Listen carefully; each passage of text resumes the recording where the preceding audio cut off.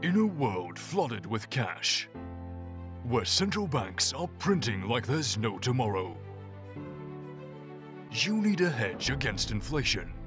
Gold and silver, they never lost their value throughout history.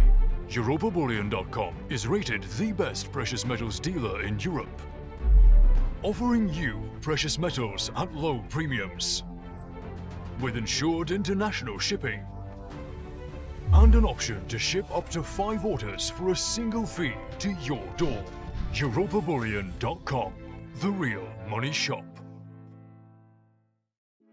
Obligacje skarbowe indeksowane inflacją to łatwy sposób oszczędzania, który pozwala uzyskać wyższe oprocentowanie niż na lokatach w bankach, a jednocześnie jest tak samo bezpieczny jak one. Oczywiście kupowanie obligacji, jak w przypadku każdej inwestycji, wiąże się z pewnym ryzykiem. W przypadku dużego krachu finansowego i bankructwa Polski, pieniędzy włożonych w obligacje możemy nie odzyskać. W takiej sytuacji jest jednak duża szansa, że nie odzyskamy także pieniędzy włożonych w lokaty. Duży krach, który doprowadziłby do bankructwa Polski, na pewno zasiałby takie spustoszenie na naszym rynku bankowym, że nie wytrzymałby go Bankowy Fundusz Gwarancyjny, który ma być gwarantem tego, że odzyskamy nasze pieniądze włożone na lokaty. Mówiąc inaczej, dla mnie detaliczne obligacje skarbowe indeksowane inflacją są tak samo bezpieczne jak lokaty bankowe, a jednocześnie dają możliwość uzyskania wyższych stóp zwrotu. Od kilku już lat konsekwentnie więc w nie inwestuję i na razie nie żałuję, bo obecnie wiele zakupionych przeze mnie emisji ma oprocentowanie na poziomie 17-19%, a więc praktycznie pokrywające się z oficjalnymi wskaźnikami inflacji CPI. Rozpoczął się jednak nowy rok i można zadać sobie pytanie, czy w 2023 roku obligacje nadal będą dobrym wyborem. W grudniu inflacja CPI trochę spadła i wyniosła 16,6%. Ekonomiści nie mają jednak wątpliwości, że w pierwszym kwartale 2023 roku czekają nas kolejne wzrosty i wskaźnik ten może zakręcić się w okolicach 20%. W takiej sytuacji na pierwszy rzut oka inwestowanie w obligacje się nie opłaca. Przecież obligacje indeksowane inflacją dają w pierwszym roku oprocentowanie na poziomie 7-7,5%, tymczasem inflacja ma sięgać 20%. Takie obliczenia nie są jednak właściwe, bo inflacja dotyczy przecież przeszłości. Dzisiejsza inflacja wynosząca 20% mówi, że o taki właśnie wskaźnik ceny rosły w ciągu minionego roku. Tymczasem my kupujemy obligacje teraz na następny rok. Nas interesuje więc inflacja za rok, a według wszelkich znaków na niebie i ziemi w pierwszym kwartale 2024 roku odczyty będą wyraźnie niższe niż obecnie. Dokonajmy więc dokładnych obliczeń i sprawdźmy, czy faktycznie wchodzenie w obligacje w tym roku ma jakikolwiek sens. Aby wykonać te obliczenia, musimy oszacować poziom inflacji w najbliższych latach. Możemy posiłkować się najnowszą prognozą NBP pochodzącą z listopada 2022 roku. Problem w tym, że w przeszłości owe prognozy nie do końca się sprawdzały. W analogicznych materiałach publikowanych wcześniej na tym kanale do obliczeń braliśmy więc górną granicę poziomu ufności 60% i ona dość dobrze zgadzała się z rzeczywistością. Tym razem jednak od tego odejdziemy. Zauważmy, że środkowa linia z aktualną prognozą NBP dawała w grudniu poziom około 18%, a więc zauważalnie wyższy niż pokazała rzeczywistość. Czy to oznacza, że trzeba do obliczeń brać wyniki niższe? Raczej nie, bo wynik grudniowy może być chwilową fluktuacją, a od stycznia 2023 roku inflacja znów ruszy w górę, głównie na skutek podwyżek cen energii i braku obniżeń cen paliw. Nadal uważam więc, że do obliczeń warto brać wartości wyższe niż prognoza NBP, ale tym razem nie górną granicę poziomu ufności 60%, ale raczej 30%, która daje trochę niższe wartości. Taki wybór zgadza się dość dobrze z niezależnymi od NBP oszacowaniami. Przykładowo, prognoza PKO prawie idealnie pokrywa się z górną granicą ufności 30% z prognozy NBP. Poziomy inflacji CPI sięgające 20% w okolicach lutego 2023 prognozują także ekonomiści z Credit Agricole, co utwierdza mnie w wyborze troszkę wyższego przebiegu z prognozy NBP. Nasze obliczenia przeprowadzimy zarówno dla 4-letnich obligacji COI, jak i 10-letnich obligacji EDO. Wspólnym założeniem będzie zakup 10 obligacji po 100 zł każda, czyli za kwotę 1000 zł czas naszego zakupu, czyli luty 2023 roku. W przypadku 4-latek mamy oprocentowanie wynoszące 7% w pierwszym roku oszczędzania, natomiast w kolejnych latach jest ono oparte o oficjalną inflację CPI powiększoną o marżę wynoszącą 1%.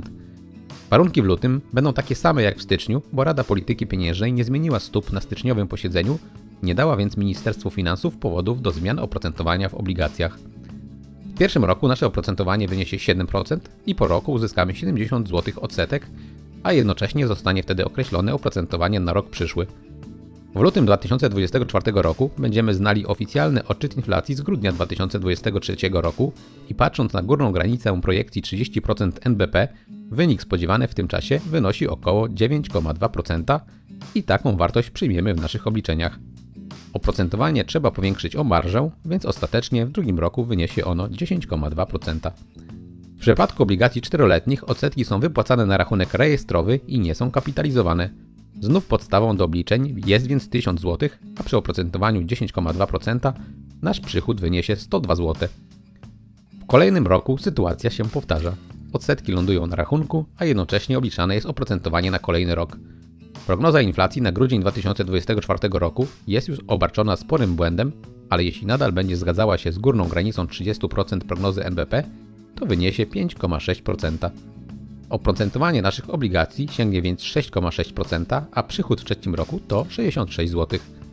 W kolejnym roku ekstrapolacja prognozy NBP mówi o inflacji na poziomie 3,8%, co da oprocentowanie na poziomie 4,8% i przychód w czwartym roku wynoszący 48 zł. Całkowity przychód to 70 zł w pierwszym roku, 102 zł w drugim, 66 zł w trzecim i 48 zł w czwartym roku. W sumie 286 zł. Tyle, że musimy od tego zapłacić 19% podatek belki. Nasz całkowity zysk wyniesie więc 231 zł i 66 groszy, czyli 23,2%. Trzeba jednak pamiętać o dwóch rzeczach. Po pierwsze, z naszej inwestycji możemy wyciągnąć trochę więcej, zaprzęgając do pracy wypłacane co roku odsetki. Przecież nie muszą one leżeć na rachunku, lecz możemy za nie kupować np. lokaty 3-letnie, 2-letnie i roczne. Dokładne wartości zwrotów trudno obliczyć, bo nie znamy oprocentowań w bankach na najbliższe 3 lata. Uznajmy jednak, że średnio będzie to około 5%, więc wtedy nasze odsetki wygenerują ponad 15 dodatkowych złotych już po obliczeniu podatków. W sumie z reinwestycją odsetek 4-latki mogą przynieść nam dochód około 247 zł, czyli zwrot na poziomie niespełna 25%. Druga rzecz, o której należy pamiętać, to ewentualne zmiany w podatku belki. Ostatnie doniesienia mówią, że Ministerstwo Finansów planuje jego podwyżkę do 20%, ale jednocześnie zakłada, że zyski kapitałowe do 10 tysięcy złotych rocznie będą wolne od opodatkowania.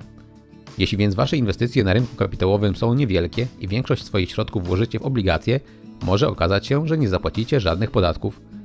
Niczego takiego na razie nie możemy jednak uwzględniać w obliczeniach, bo wszystko o czym powiedzieliśmy to tylko wstępne założenia i projekty. Nie wiemy kiedy one wejdą i w jakiej formie, więc poprzestańmy na tym, że czterolatki dały nam zarobić 23,2% jeśli nic nie robiliśmy z odsetkami i prawie 25% jeśli umiejętnie je reinwestowaliśmy. Teraz musimy przekonać się, ile w czasie naszej inwestycji wyniosła oficjalna inflacja CPI. W pierwszym roku, czyli od lutego 2023 do lutego 2024, górny limit prognozy NBP sięga okolic 8,2%. W drugim roku jest to około 5,3%, a w następnym zakładamy 3,4%. Wykres z prognozy NBP nie pokazuje kolejnego roku, więc zróbmy w miarę optymistyczne założenie, że osiągnie ona wtedy poziom 2,5%. Całkowita inflacja w ciągu naszych 4 lat oszczędzania wyniesie więc 20,8% i jest to wynik niższy niż nasz zysk.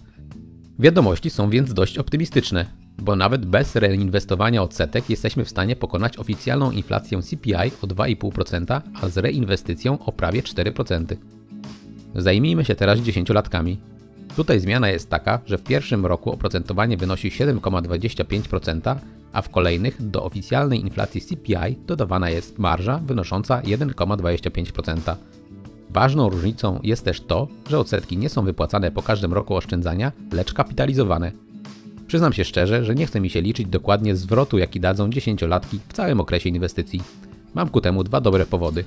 O ile przewidywania inflacji na kolejny rok czy dwa mają jakiś sens, to na prawie 10 lat są tylko i wyłącznie wróżeniem z fusów. A znajomości inflacji nie możemy obliczyć dokładnego zysku. Drugi powód to wspomniane już wcześniej zmiany w podatku belki. W ciągu najbliższych 10 lat na pewno do nich dojdzie, a nie wiedząc jaki podatek zapłacimy, nie jesteśmy w stanie prawidłowo ocenić naszego realnego dochodu. Zajmiemy się więc trochę innym scenariuszem, a mianowicie takim, w którym kupimy dziesięciolatki z zamiarem ich zerwania i poniesienia wynikającej z tego zerwania kary wynoszącej 2 zł od każdej obligacji wartej 100 zł. W ciągu 4 lat oszczędzania nasze oprocentowania w kolejnych latach będą więc wynosić najpierw 7,25%, potem inflacja grudniowa z roku 2023 powiększona o 1,25, czyli 10,45%, Następnie inflacja grudniowa z roku 2024 powiększona o 1,25, czyli 6,85% oraz inflacja grudniowa z roku 2025 powiększona o marżę, czyli 5,05%. Współczynnik odsetkowy wyniesie więc 1,32964, co daje wynik 33% zysku i przychód w wysokości 329 zł i 64 groszy. Teraz jednak musimy przeanalizować to, co stanie się w chwili przerwania oszczędzania w tym momencie. Kupiliśmy 10 obligacji i za każdą musimy zapłacić 2 zł kary. Kara wynosi więc 20 zł. Kwota przychodu spada więc do 309 zł i 64 groszy. Wciąż musimy jeszcze zapłacić podatek belki. Netto zostanie więc nam 250 zł i 81 groszy. Zysk z naszej inwestycji to więc prawie 25,1%. Jak widać, jest to wynik o prawie 2 punkty procentowe lepszy niż dały czterolatki bez reinwestycji odsetek oraz w zasadzie dokładnie taki sam jak wariant z reinwestycją. Można więc bezpiecznie założyć, że dziesięciolatki opłacają się trochę bardziej.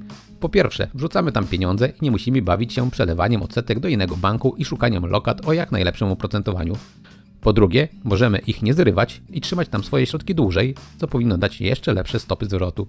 Po trzecie, dochodzi sprawa zmian w podatku belki.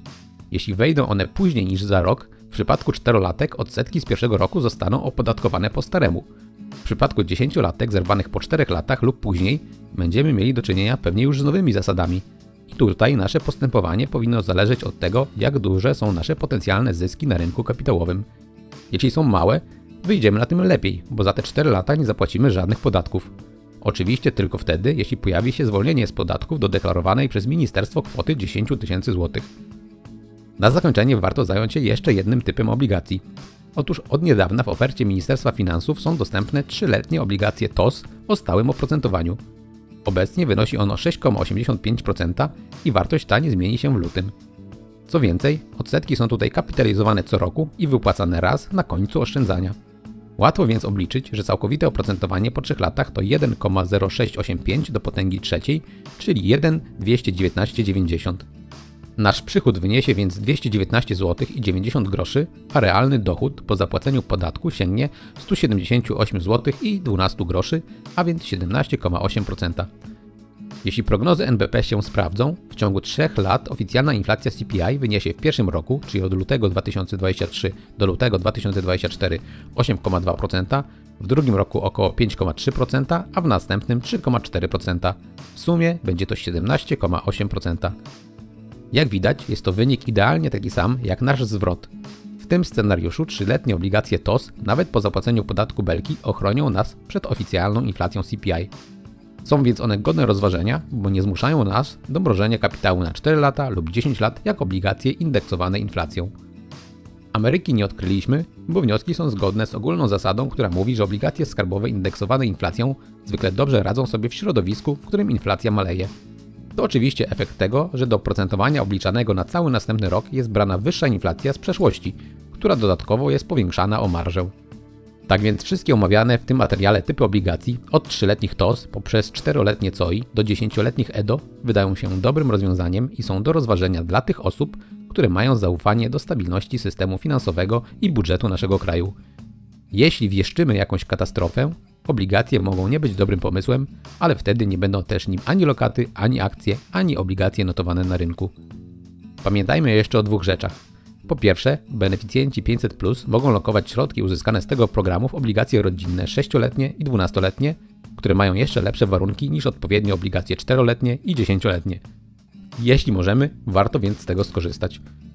Po drugie, zakupy obligacji można dokonywać także z poziomu naszego indywidualnego konta emerytalnego, a to pozwoli nam uniknąć podatku belki.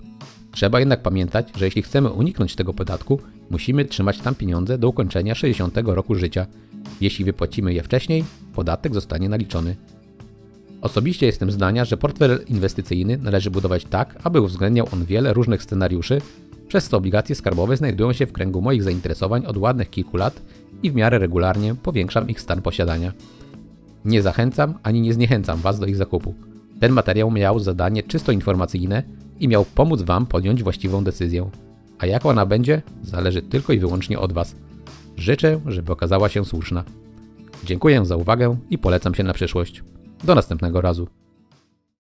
In a world flooded with cash, where central banks are printing like there's no tomorrow, you need a hedge against inflation. Gold and silver, they never lost their value throughout history.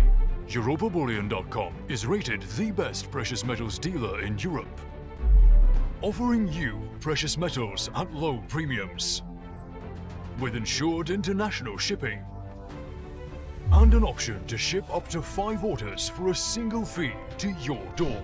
EuropaBullion.com, the real money shop.